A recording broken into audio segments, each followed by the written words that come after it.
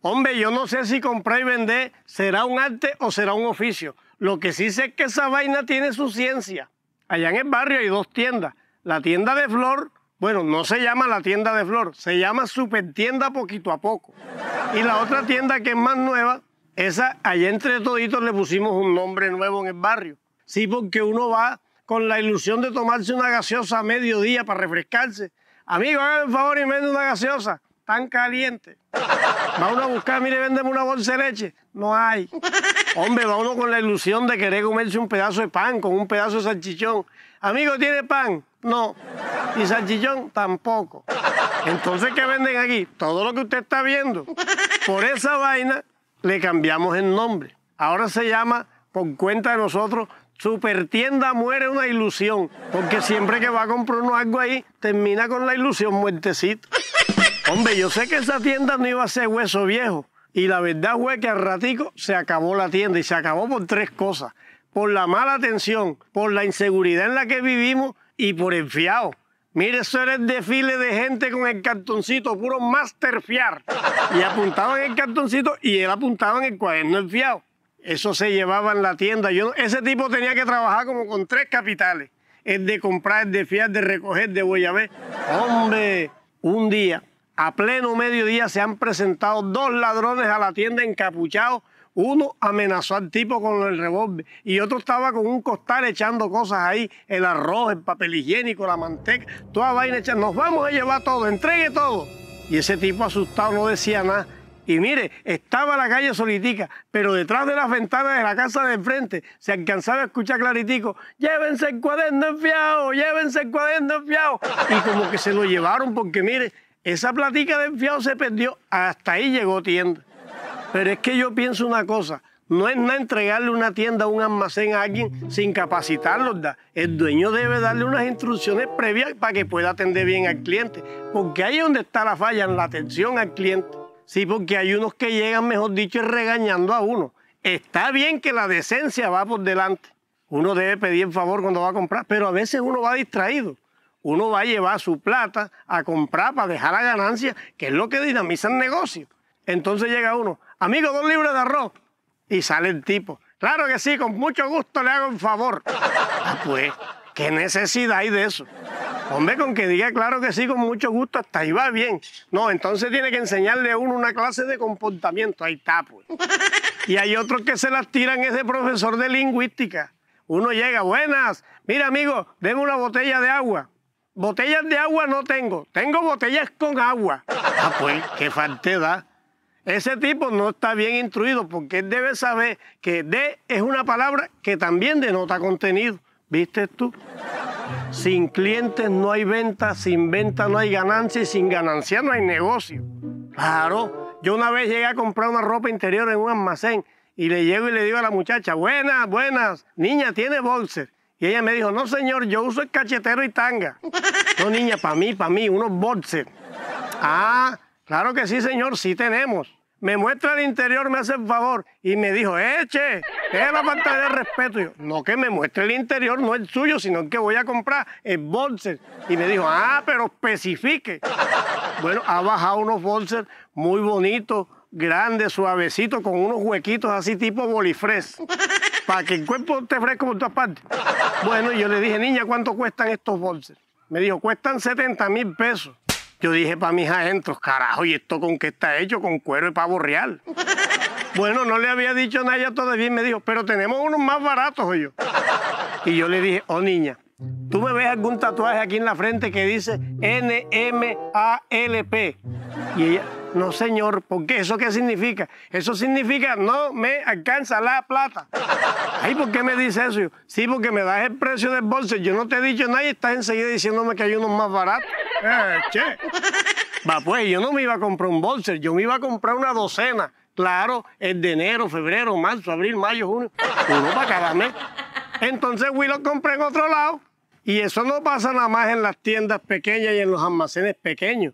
Yo llegué a un super almacén de esos grandototes y entré olímpicamente a comprar unas cosas y veo yo unos duraznos hermosos, grandotes, maduritos. Y yo dije, voy a aprovechar para comprarme dos porque eso aquí en el pueblo no se cosecha. Y esa vaina por aquí casi no se ve. cuando estaba pagando, cuando la muchacha fue a pesar los duraznos, me dijo, señor, mire, eso es caro yo. Yo le dije, otra que me vio el tatuaje. Yo le dije, niña, ¿lo vas a pagar tú o lo voy a pagar yo? Y me dijo, perdón, señor, ¿cómo le decimos? El nuevo millonario. Yo le dije, ahí está, pues. O sea que el que compra dos duraznos, de ahí para adelante es millonario. Oh, carajo. Hombre, ese asunto de la falencia del servicio al cliente es por todos lados. Yo llegué una vez con Carmencita a comerme dos perros calientes a un puesto donde venden comida rápida. Yo desde donde estaba alcancé a ver cuando el tipo metió los dos perros calientes al horno microondas y le clavó 45 segundos. Yo dije, ay Dios mío, pobres perros calientes, les van a quemar hasta el alma. Dicho y ellos cuando nos trajeron esas salchichas venían hirviendo. ¿Cómo será que Carmencita le pegó un mordisco y se le quedó un cuerito a la salchicha aquí guindado en el labio? Mucha quema que se pegó esa pobre muchacha. Y yo llamé enseguida al que me atendió. Niño, ven acá, ¿por qué calientan esto tanto? No es necesario ponerle tanto tiempo en el microondas. Con 15 segundos que lo hubieran puesto, ya es bien de caliente. Listo, señor. Avísele ya al joven que preparó los perros que, que los está calentando mucho. Bueno, ella se fue con sujeta quemada y yo consolándola. Pero que va como a los 20 días volvimos al negocio. Y le dije yo al mismo muchacho, amigo, regálanos dos perros calientes, pero ven acá, no los vayas a calentar tanto, ¿viste? 15 segunditos para que vengan para comerlos enseguida. Sí, señor, cómo no. Y salió para allá y yo escuché donde le dijo claritico al que los estaba preparando. Mira, dos perros calientes para perro frío. Vieron ustedes degenerados ese a ponerme apodo. Yo que voy a llevarles la platica para la ganancia y la vaina y ellos a ponerme apodo, no voy más. Bueno, ustedes dirán, dos perritos calientes que se dejen de vender no es mucho. Pero han de creer ustedes que un día tuve una integración acá en la Trinidad con un poco de gente. Y yo dije, voy a hacerles un detallito, a regalarles algo para comer.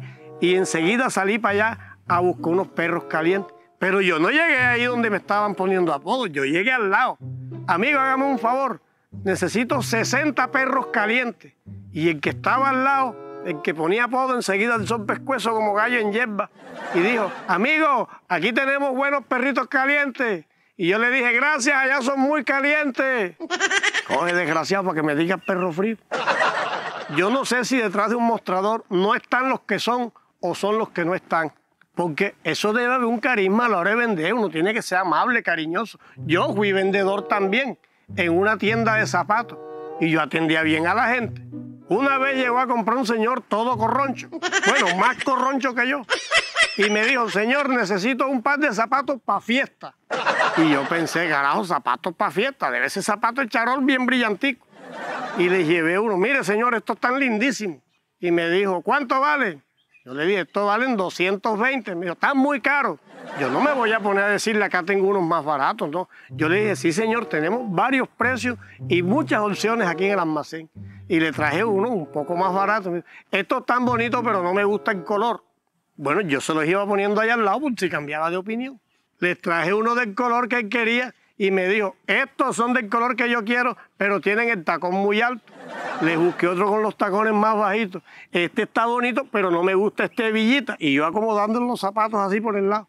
Mire, el dueño del almacén estaba allá atrásito y nada más que estiraba sin pescuezo viendo a ver y así sigue.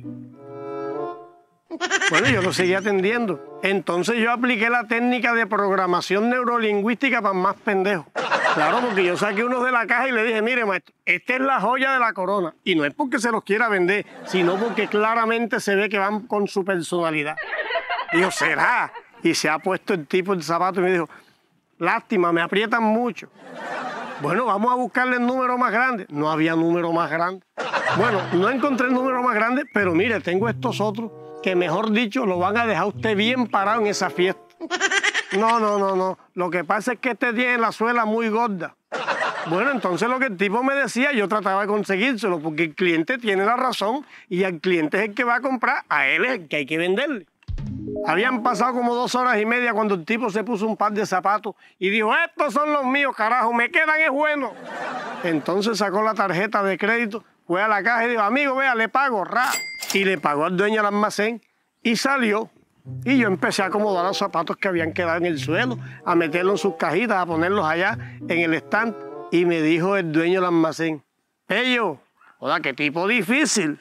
Y yo le dije, amigo, difícil, pero no imposible. Y me preguntó el dueño del almacén, ajá, Pello, por fin, ¿cuál zapato se llevó? Y yo le dije, ay, ¿cuál se iba a llevar? Los que trajo puesto. Y me dijo el dueño del almacén, ¡un carajo! Bueno, y hablando de comprar y vender, yo no les estoy vendiendo nada, yo les estoy ofreciendo un excelente producto. Mis redes sociales, mi canal de YouTube, mi página de Facebook y todo mi contenido chévere. Disfrútenlo, suscríbanse y echen el negocio para adelante. ¡Un carajo!